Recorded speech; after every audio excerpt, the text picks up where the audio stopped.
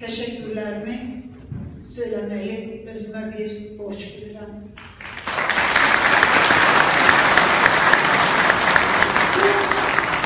Merkeze adı verilen büyük şairimiz Ustad Abdurrahim Karakoç'un tabutuna sararlarsa bayrak senden incinmesin dediğim bayrağımızın da vatanımızın da gurur duyduğu şehitlerimizin Azerbaycanımız ve Türkiye'miz için canlı kurban veren şehitlerimizi rahmetle, gazilerimizi saygıyla anarak sözlerime başlamak istedim.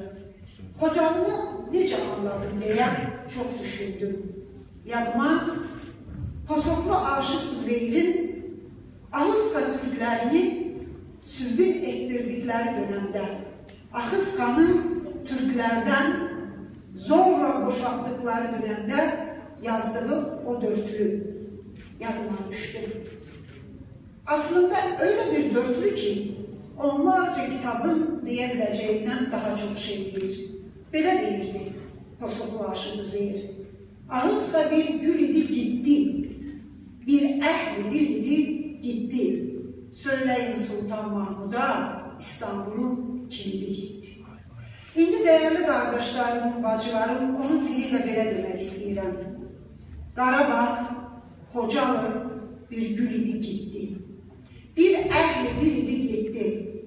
Bütün bu bölgələrimizi qarış-qarış gəzirik qardaşlarımıza deyək ki, Bakı ilə bərabər İstanbulun da kilidi getdi. Bunu bütün insanımızın bilməsi lazımdır. Çünki Xocalı 1900-də 1990'larda başlayan bir olay değildi. Hocalı'nın nereden başladığını bilmek için Artvin Karahisar'a yolu düşenler Bolvadin'e gitsin. Ve orada üç köy göreceksiniz. Yukarı Karabağlılar, Orta Karabağlılar, Aşağı Karabağlılar. Sorun o insanlardan. Siz ne zaman geldiniz buraya? Ve neden geldiniz? Onlar size anladar. Karabağ'ında, Kocalı'nın da acılarının başlangıç hikayesini. Evet değerli kardeşlerim, Kocalı, Karabağ, Bakü ile beraber İstanbul'un da kilididir. Kocalı'da öyle bir dehşetli soykırım yaşandı ki ve bunun adı katliam değil, bunun adı soykırımdı.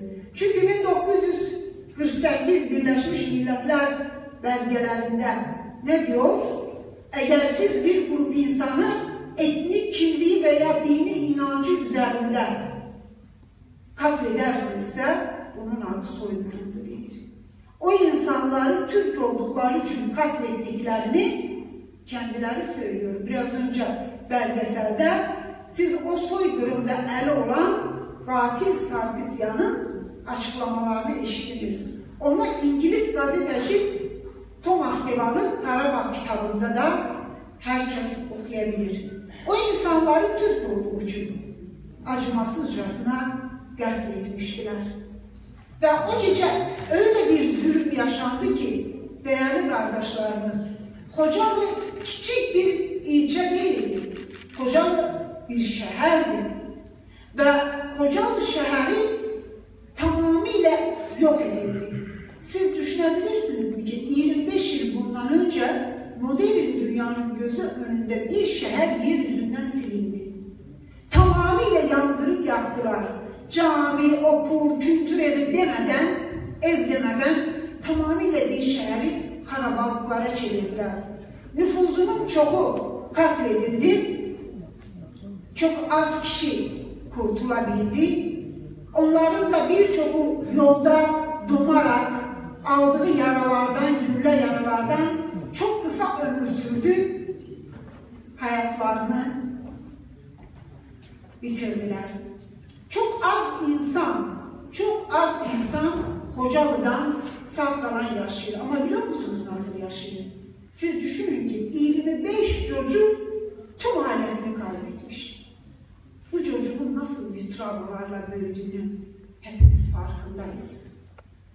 Onlarla çocuk anne babası yok. Bunun nasıl bir travma olduğunu farkındayım. Aileler var ki ailenin çoğu yok. O insanların travmalarını düşünmek. Ben öyle insanlar tanıyorum ki dostlarımızdır. Her gün aynı rüyaya ayrıldığını söylüyor. Ve biz onlarla görüşenden 25 yıl geçip. Ama ben hala aynı rüyayı görürüm ki babamı vurmuştular, yaralıydı, yürüyemirdi. Bana bu yolu görürsen de koşabildiğim kadar koş dedi. Ve ben hala küçüktüm, koştum ama babam keşke koşmasaydım. Babamı bir daha hiç görmedim dedi. Ve ben hala o uykuyla uyanıyorum. Ve bizim bir kardeşimiz var, kendi yaşadıklarını anlattı. Dürdane Ağayıvan ve Türkiye'mizde, Türkiye Türkçesinde onun hayat hikayesini, kendini yazdığı 800 gün Ermeni zindanındaki zindanında kitabı insanlarımızın çok okudu. Anlattı neler yapıldığını insanlarımıza karşı. Ve değerli insanlarımız düşünün ki Hocalı soykırımını, katliamı yapanlar hala adalet karşısında cevap vermiş değiller. Bütün modern dünyanın gözü önünde bu kadar insanlık aleyhine Ermenistan cinayet işledi ama hala bunu yapanlar adalet karşısında cevap vermiş değiller. Kırmızı bültenlerle arattırıyoruz. Mahkeme kararları, kırmızı bültenler ama maalesef ki dünyanın büyük güçleri onların adalet karşısında cevap vermesi için hiçbir adım atmadılar ve hala da atmıyorlar. Ve çok az sağ kurtulan Kocaeli sakinlerimiz ise 25 yıldır kendi evlerine dönüyor. Bir dakikalık empati kuralım. Gelin hepimiz kuralım. 25 yıl kendi anne babamızın kabrini ziyaret edemezsek, kendi çocuğumuzun kabrini ziyaret edemezsek, büyüdüğümüz hatıralarımızın olduğu evimizi ziyaret edemezsek, bu nasıl bir acı? Ya hocalıların bu acısı da hale devam edir. Hale devam edir değerli kardeşlerimiz. Ama hocalı tekfiye edin. Hocalı en büyüğü olduğu için bunun üzerinde en çok danışılır. Ona kadar ayın 17'sinde Şubat'ta Karadağlı'da aynı şeyi yapmıştılar. Ondan önce Bahani Sahibi'de aynı şeyi yapmışlar. Bundan biraz sonra Kelbecer'de Aldaban'da aynı şeyi yaptılar. Aynı şeyi yaptılar. Ve bizim 20 binden fazla şehit insanımız var. 100 binden fazla kolunu, bacağını, gözünü yitiren insanımız var. Onlar bizim kardeşlerimizdi. Ve bizim bir milyon insanımız, bir milyon düşünebiliyor musunuz? Bir milyon insan 25 yıldır kendi evine dönemiyor. Bu hasrete düzmeyip kendi evini görmeye gidenler ise yani ki bu haberden haberiniz var. Bizim iki kardeşimiz Dildem Esker ve Şahbaz Kuliyev hala da Ermenistan'da işkenceler ve zulm içerisinde eziyet verilir. Neden? Adam hasrete dayanamamış, gidin bir evimi görün demiş. O insanlara o zulüm verilir. Ve bizim topraklarımız, bu bizim hepimizin vatan topraklarıdır. Nasıl Türkiye sizin kadar bizim de vatanımızdı, Azerbaycan da bizim kadar sizin vatanımızdı. Ve bizim vatan topraklarının yüzde yirmisi de işgal altındadır. Birleşmiş Milletler'in kararları kağıt üzerinde. Aydit kararları kağıt üzerinde. AKP'nin kararları kağıt üzerinde.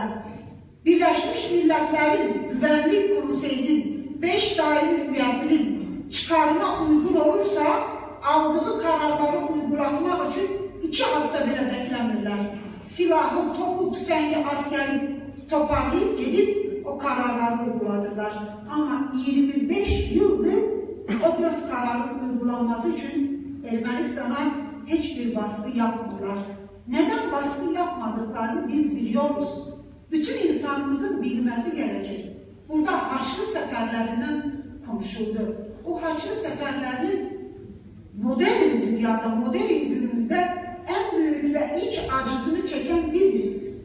Çünkü Ermenistan sadece Ermenistan bizim topraklarımızı bu edip bu kadar insanımızı soykırım yapıp bunlar yapamazdı ki. Ermenistan'a destekler vardı. Ermenistan'a destekler vardı. Evet, Hocalı soykırımı günlerinde Rusya'nın 366. alayının topu, tankı, tüfeği oradaydı.